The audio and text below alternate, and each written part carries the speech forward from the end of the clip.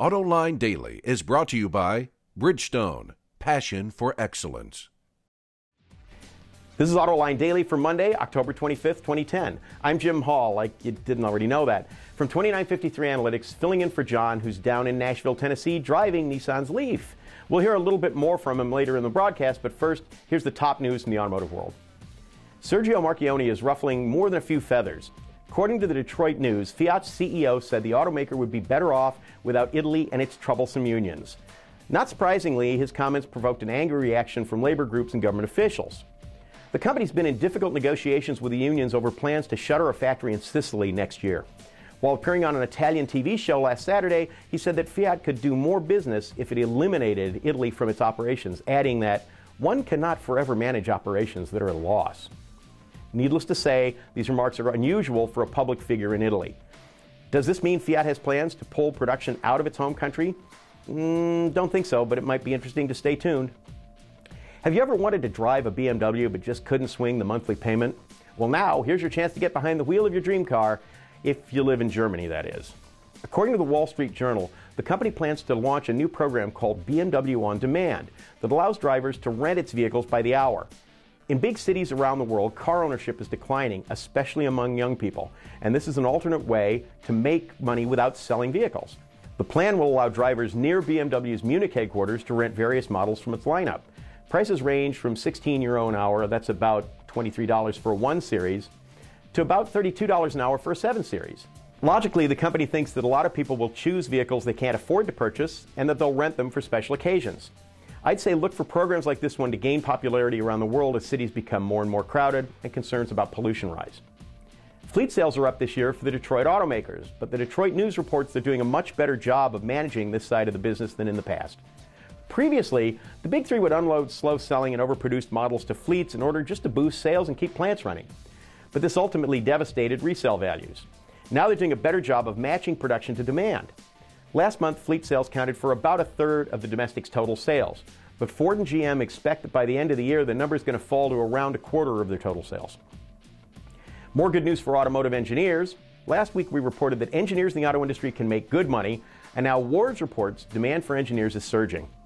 Many companies had to shed engineers when the industry crashed, but now as the economy starts to recover, engineers are becoming really hot commodities. With the industry focusing more on alternative energy vehicles, automakers and suppliers are looking for engineers with skills in those areas. But they're finding there aren't enough qualified people to actually fill the jobs. As a result, there's a number of open positions and some pretty good pay for engineers. As I mentioned at the top of the show, McElroy's down in Nashville driving the Nissan Leaf all electric car. Here's an update from the road and apparently from a pretty hot part of town.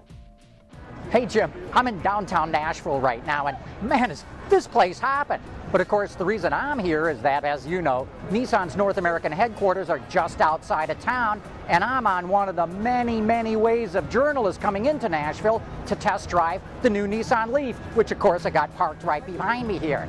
As you know, they're going to be building this vehicle in Tennessee about a year or so from now. But we're going to be driving it around, learning what it's all about. We'll be talking with Mark Perry, learning out about the technical aspects of the car. We'll be talking to, with John Brancheau, who heads up all marketing on it. In fact, we're going to be doing an entire show, an entire Autoline Detroit on the Nissan Leaf, and of course, we'll be dropping segments into Autoline Daily. Anyway, I'm throwing it back to you. Take care of my show, will ya? Aye, aye, Captain McElroy. I look forward to hearing what you think about the Leaf after you get back from your trip down to the volunteer states. Anyway, oh, coming up next, we test drive the brand new 2011 Ford F 150 with its range of all new engines. We'll fill you in on the juicy details right after this. Introducing Bridgestone's third generation of run flat tires with groundbreaking new Bridgestone technologies.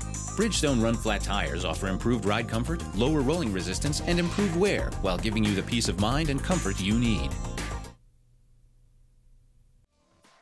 Ford is making waves with a 2011 F 150. It's offering four brand new engines in the popular pickup. At first glance, it looks like a best in class lineup, but how do they drive? Autoline Daily correspondent Craig Cole has more. You already know the story of the 2011 Ford F-150. The company is launching four, yes, four brand new engines on the truck, two V6s and two V8s. Now, they all look really strong on paper, but how do they perform in the real world? Well, the company invited Autoline Daily out to its Michigan proving ground near Romeo, Michigan to put them all to the test. This extravagant event was part of a seven city tour Ford is putting on to showcase the new truck to dealers and the media. The company set up several displays and a huge pavilion reminiscent of the tents at Oktoberfest in Germany, minus the Lederhosen and beer, of course. To highlight the F 150's capability, Ford brought in similarly equipped versions of the Dodge Ram and Chevy Silverado. We had an opportunity to drive all of them back to back on several test loops. More on that in a minute. The two V8s Ford is offering are both strong performers, and I particularly liked the 5.0. It's smooth and has a nice rumble to it, just like in the Mustang. But the big news of the day revolved around the six cylinder engines. EcoBoost stole the show. It handily outmuscled the competition's V8s even while towing. Here, all the trucks were equally loaded with 6,000 pound trailers. At least that's what Ford told us. The track's steep hills were no problem for the F 150. It tackled them with relative ease, while its rivals struggled. Even though Ford is offering two V8 engines, EcoBoost is so good, they're flat out unnecessary. Driving this point home, the company brought in a chassis dyno to demonstrate its power. The rollers were programmed to simulate a 40 to 70 mile an hour passing maneuver while towing a 10,000 pound trailer. Its 420 pound feet of torque made quick work of this challenge. But for all of EcoBoost's performance, it was not the biggest surprise of the day. That title goes to the base V6. It was amazingly good for an entry level engine. If you aren't doing any serious towing, this is all you really need. It's powerful, it's smooth, and it has an impressively flat torque curve. Just look at the blue line on this chart.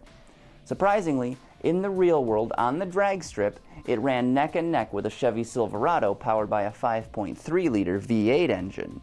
The 2011 F 150 offers the best powertrain lineup in the full size pickup segment. End of story.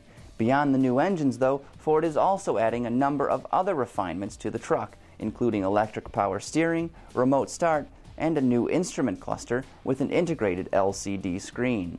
Look for the new F 150 at dealerships shortly. Sounds pretty good, and I'm sad to report that I still haven't gotten any stick time in one of these trucks. They look pretty spiffy. Are you listening, Ford? Hey, don't forget to join us tonight for Open Line, the best call in program on the worldwide interwebs. To participate, just dial 218 936 6581. That's 218 936 6581. If you call now or within the next 10 minutes, no one will answer. This week's pin for the dial in is 2942. 2942. Remember, you can also tune in on our website, autolinedetroit.tv. The show kicks off at 8 p.m. Eastern Time. If you haven't checked it out already, you should. It's a lot of fun. And that's it for today's show. Again, I'm Jim Hall from 2953 Analytics. Thanks a lot for watching, and I'll see you again soon, most likely the next time John's out of town. Take care.